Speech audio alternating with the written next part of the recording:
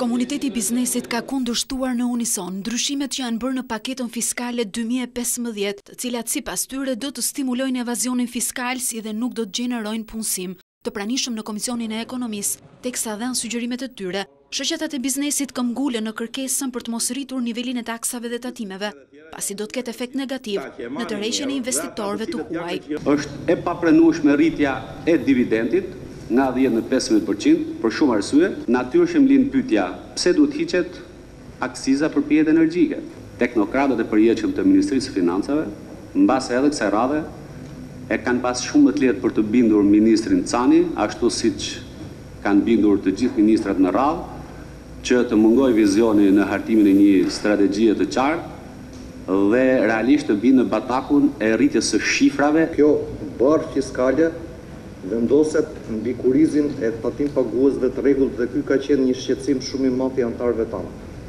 Në konditat ku evazioni fiskal vazhdon të jetë i lartë, rritja e këtyre taksave përveçse që ngarkon këto biznese, jep incentivë jep incentivë shumë të lartë evazionit të vazhdojë dhe të rrisi nivelin e tij. Sipërmarrësit kërkuan që ligjet fiskale të mos ndryshojnë çdo vit, pasi ky fakt ndikon negativisht në hartimin e planeve të biznesit.